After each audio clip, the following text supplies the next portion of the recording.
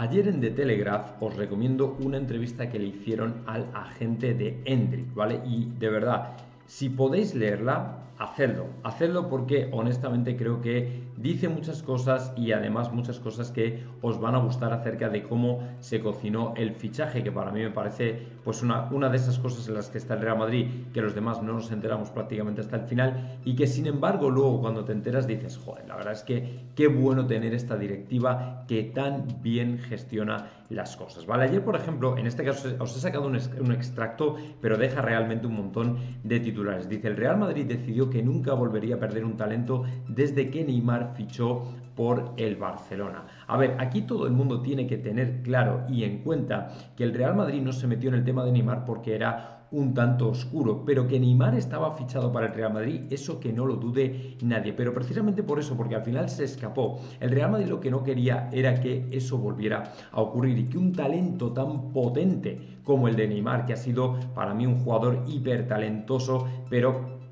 a ver, completamente, no voy a decir infraexplotado, porque realmente ha sido él el que no ha querido dar más, si hubiera tenido otra actitud fuera de los terrenos de juego, pero ha sido un talento brutal. Y Enrique es que tiene pinta de talento brutal, pero y Vinicius, exactamente lo mismo. Rodrigo también de otra manera, le falta un poquito más de carácter en mi opinión, pero Rodrigo es otro talento monumental.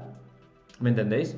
Entonces el Real Madrid apostó por eso y, precisamente su agente lo que desvelaba era que el Madrid ya no quería entrar en esa guerra de precios que estaba generando la Premier y que prefería mirar a jugadores del estilo de Hendrik, mucho más infradesarrollados todavía o por subdesarrollados en el sentido futbolístico, que todavía tenían mucho por delante y que podías comprar a mejores precios. Que luego con Hendrix, sin embargo, tiraron de chequera también, porque por lo visto entró el Chelsea en la carrera y fue la hostia. Pero bueno, que al final ocurrió así. Y lógicamente todo esto, este, este, tipo de cosas nos gustan, ¿me entendéis? Porque al final te das cuenta de que el Real Madrid se preocupa, pero lleva preocupándose por cambiar el modelo de fichajes desde hace una barbaridad de tiempo.